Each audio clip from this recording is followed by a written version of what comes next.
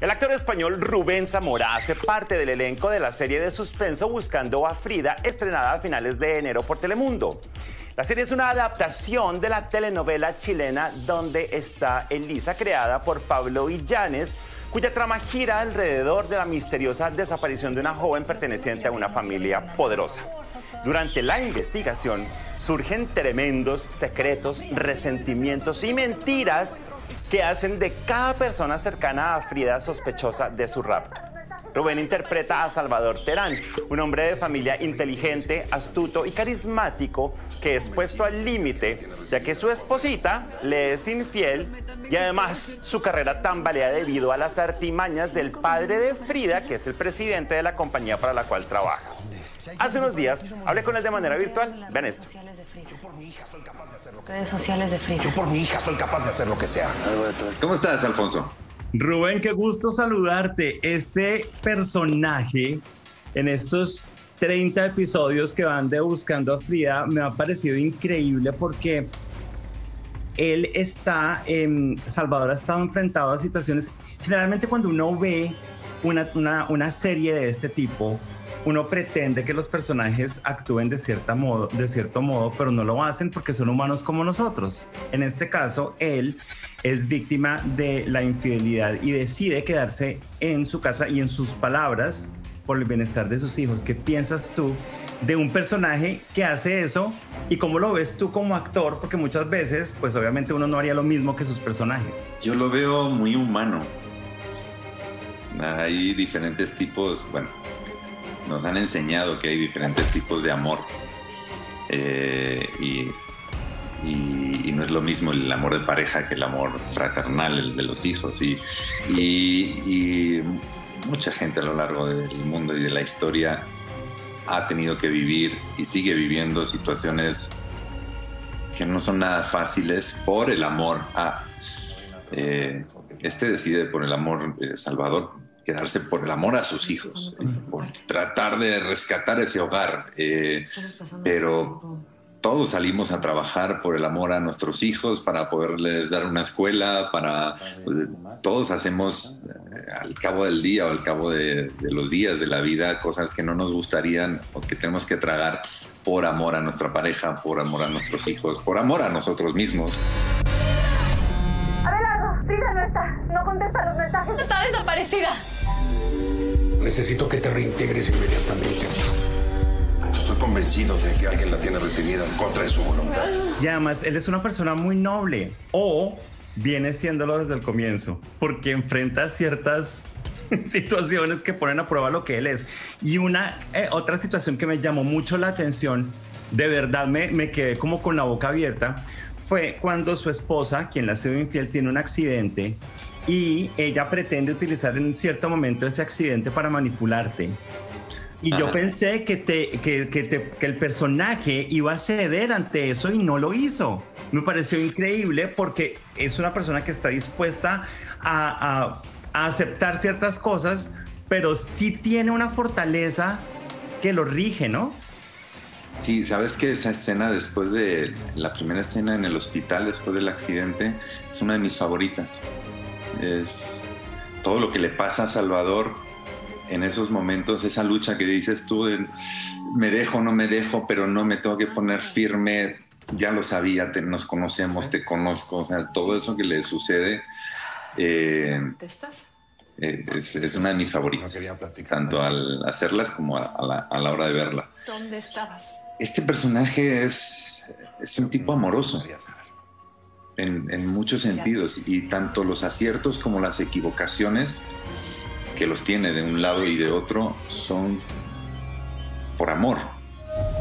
Hoy estoy haciendo este live porque estamos preparando todo para el cumpleaños de mi papi, el famoso ingeniero Abelardo Pons. Y aquí está mamá haciendo el pastel con las niñas. A mí me llama mucho la atención cómo él empieza uno viéndolo y sí, él es como la personificación de de alguien que, que, obra por amor, que opera por amor, pero como que todo funciona en contra de él. El tema de la torre, cuando, cuando le dice a, a, a, a, su, a su cuñado, que es el presidente de la compañía, le dice, no hay que mezclar lo personal con los negocios.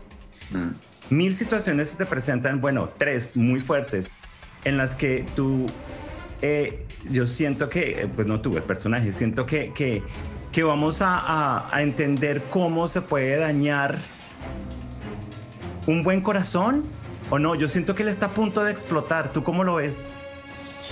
Yo creo que está casi siempre a punto de explotar. Porque hay, hay justo además el, en el comienzo de la serie, en esa fiesta que están todos felices y, y, todos contentos y puro amor, puro amor, el único que recibe un comentario feo es Salvador. O sea, es decir, o sea, desde ahí se plantea que, que, es un tipo que trata de pertenecer y no le dejan, que trata de ser y no le dejan, que tratan, y entonces sí está siempre a punto de explotar. Y cuando apaga un fuego, hay otro incendio en, en la habitación de al, de al, lado. Él trata de hacer las cosas bien y lo embarra más. Entonces, creo que es muy humano eso. creo que, que, muchos de nosotros hacemos eso diariamente. Sí, casi. claro. Claro, ¿no? y eso permite la identificación, la identificación del, del público con, con, los personajes y con el tuyo de, de, una manera creo que más, más, más intensa. Yo quiero preguntarte acerca del esquema del melodrama tradicional, porque obviamente esta producción es un ejemplo de eh, nuevos códigos, no solamente a nivel visual, porque la producción es increíble, ah. y, y, con las cámaras, que también es una cosa soberbia, pero también en, en, el lenguaje, en el modo de comunicarse y en el modo de la actuación. ¿Cómo lo lees tú desde tu perspectiva? Yo lo leo que, que, que, que, que bien, Alfonso, o sea, qué bien. Eh, llevábamos anclados muchos años sin evolucionar en el melodrama, que es un género eh, ¿Puedo decir malas palabras? Había un director de... Dale, no. Dale. Había un director cuando hice una, una telenovela, que no voy a decir cuál, voy a decir en qué compañía, pero, pero decía, este, este género, el melodrama, es un género, como es el de la ciencia ficción, el drama, la, eh, es un género.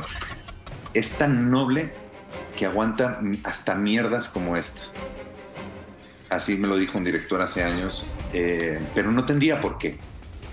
O sea, tenía que evolucionar y, y, se está viendo desde hace unos años y que sí, que puede evolucionar, que no es que se tenga que morir. Es que llevamos se ve 30 capítulos, se, se ve muy bien.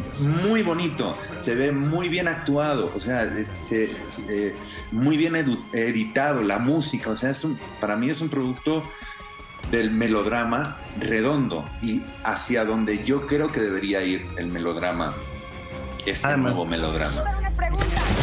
¿Qué escondes? Si hay un culpable aquí somos los dos. Encontré algo en las redes sociales de Frida. Yo por mi hija soy capaz de hacer lo que sea. Algo de todo esto no me cuadra. Y además que siento que se nota, o sea, desde mi perspectiva como audiencia y como pues obviamente por mi trabajo, se nota que hay, que hay conversaciones extensas con el director.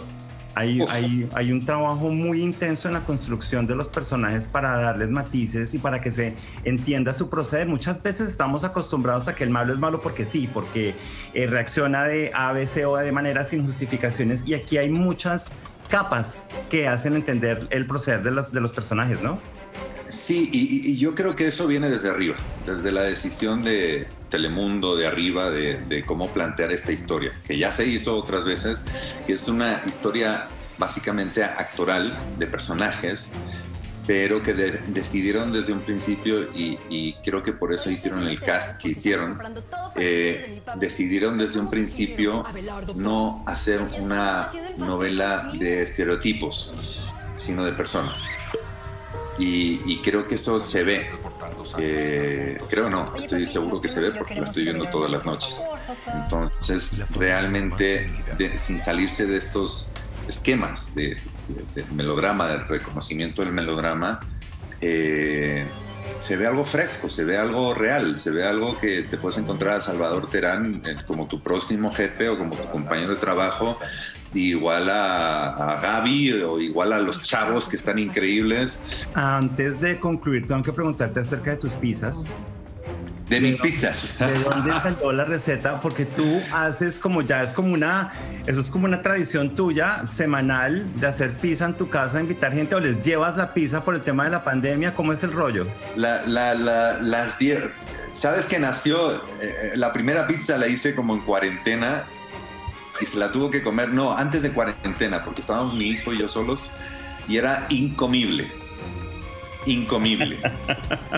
y ya no volví a hacer hasta, hasta Carla Conce, que, es del departamento de maquillaje, que me pasó una receta de su papá, eh, que no podía compartirla y que la, la fui como, como no arreglando, sino componiéndola con internet, con prueba y error.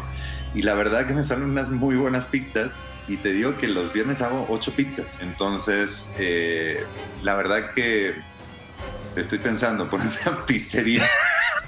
Qué delicia. Me salen muy ricas, me salen. Gracias, Carla. La comida, la comida reúne. Bueno, em, concluyo esta entrevista diciéndote que me gustaría trabajar con alguien como Salvador porque tiene unos principios increíbles y es un tipazo.